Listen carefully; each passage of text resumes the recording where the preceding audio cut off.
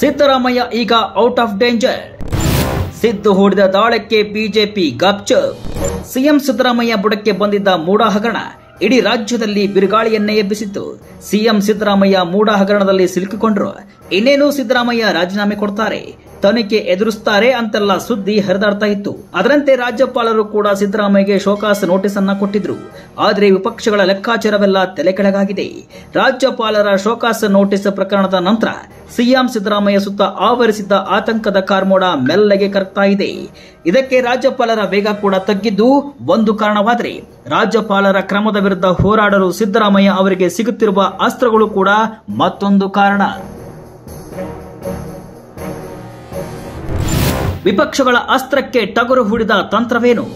ಅಂದಹಾಗೆ ಈ ಹಿಂದೆ ಎಚ್ ಡಿ ಕುಮಾರಸ್ವಾಮಿ, ನಿರಾಣಿ ಮತ್ತು ಜೊಲ್ಲೆ ವಿರುದ್ಧ ವಿಚಾರಣೆಗೆ ಅನುಮತಿ ನೀಡಲು ಕೋರಿ ಸಲ್ಲಿಕೆಯಾಗಿದ್ದ ಮನವಿಗಳು ರಾಜಭವನದಲ್ಲಿ ಕೊಳೆಯುತ್ತಿವೆ. ಆದರೆ ಜೂನ್ ಇಪ್ಪತ್ತಾರರಂದು ಮಂಡನೆಯಾದ ಟಿಜೆ ಅಬ್ರಾಹಂ ದೂರಿಗೆ. ಪ್ರತಿಯಾಗಿ ಮರುದಿನವೇ ಸಿದ್ದರಾಮಯ್ಯ ಅವರಿಗೆ ಶೋಕಾಸ್ ನೋಟಿಸ್ ಜಾರಿಯಾಗುತ್ತೆ. ಒಂದು ವೇಳೆ ರಾಜ್ಯಪಾಲರು ವಿಚಾರಣೆಗೆ ಅನುಮತಿ ನೀಡಿದರೆ ಈ ಅಂಶವನ್ನೇ ಹಿಡಿದುಕೊಂಡು ನ್ಯಾಯಾಲಯದ ಮೆಟ್ಟಿಲೇರಬಹುದು. ಮತ್ತು ಸಿಎಂ ವಿರುದ್ಧದ ವಿಚಾರಣೆಗೆ ಅನುಮತಿ ನೀಡಿದ ರಾಜ್ಯಪಾಲರ ಕ್ರಮಕ್ಕೆ ತಡೆಯಾಜ್ಞೆ ಪಡೆಯಬಹುದು. ಇದು ಸಿದ್ದರಾಮಯ್ಯನವರ ತಂತ್ರವಾಗಿದೆ.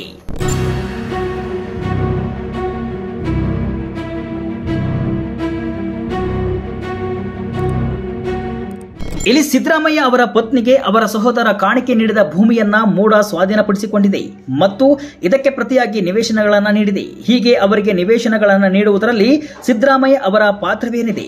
ಅವರೇನಾದರೂ ಕಾನೂನು ಬಾಹಿರವಾಗಿ ತಮ್ಮ ಪತ್ನಿಗೆ ನಿವೇಶನ ನೀಡಲು ಶಿಫಾರಸು ಮಾಡಿದ್ದಾರೆ ಅಥವಾ ಅವರು ರಾಜ್ಯದ ಉಪಮುಖ್ಯಮಂತ್ರಿ, ಮುಖ್ಯಮಂತ್ರಿಯಾಗಿದ್ದಾಗ ಈ ನಿವೇಶನಗಳನ್ನು ಮೂಡ ಮಂಜೂರು ಮಾಡಿದೆಯೇ? ಹೀಗಿದ್ದ ಮೇಲೆ ಈ ಪ್ರಕರಣಕ್ಕೂ ಸಿದ್ದರಾಮಯ್ಯ ಅವರಿಗೂ ಏನು ಸಂಬಂಧ ಅನ್ನೋದು ಸಿದ್ದು ಆಪ್ತರವಾದ. ಸಿದ್ದರಾಮಯ್ಯ ಪ್ರಭಾವಿಯಾಗಿದ್ದ ಕಾರಣಕ್ಕೆ ಅವರ ಪತ್ನಿಗೆ ನಿವೇಶನಗಳನ್ನು ನೀಡಲಾಗಿದೆ ಎಂದಾದರೆ, ಸಿದ್ದರಾಮಯ್ಯ ಅವರು ಯಾರ ಮೇಲೆ ಯಾವ ಸಂದರ್ಭದಲ್ಲಿ ಪ್ರಭಾವ ಬೀರಿದರು ಎಂಬುದು ಕೂಡ ಪ್ರಶ್ನೆಯಾಗಿದೆ. ಈ ಎಲ್ಲಾ ಪ್ರಶ್ನೆಗಳನ್ನು ಕೋರ್ಟ್ನಲ್ಲಿ ಹೂಡಲು ಸಿದ್ದು ಬಣ ರೆಡಿಯಾಗಿದೆ. ಇದನ್ನು ಆಲಿಸಿರುವ ರಾಜ್ಯಪಾಲರು ಕೂಡ ಮೌನ ವಹಿಸಿದ್ದಾರೆ. ಹೀಗಾಗಿ ಸಿದ್ದರಾಮಯ್ಯ ಈಗ ಔಟ್ ಆಫ್ ಡೇಂಜರ್ ಎಂಬುದು ಅವರ ಆಪ್ತರ ಮಾತು.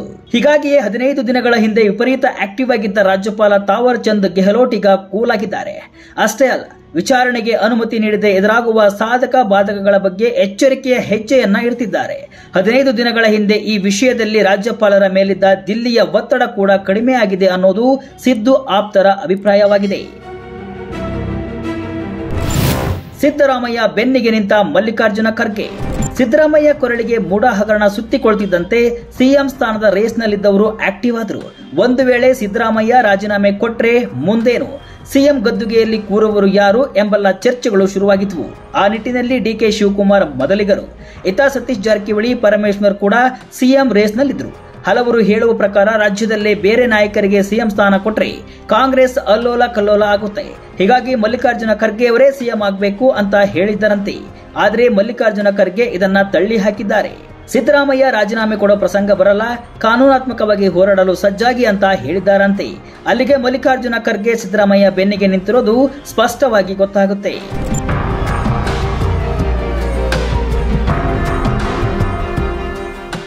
ಒಟ್ಟಿನಲ್ಲಿ ಮೂಡಾ ಹಗರಣದಲ್ಲಿ ಸಿದ್ದರಾಮಯ್ಯ ಸದ್ಯಕ್ಕೆ ಔಟ್ ಆಫ್ ಡೇಂಜರ್ ಅಂತ ಹೇಳಲಾಗ್ತಿದೆ.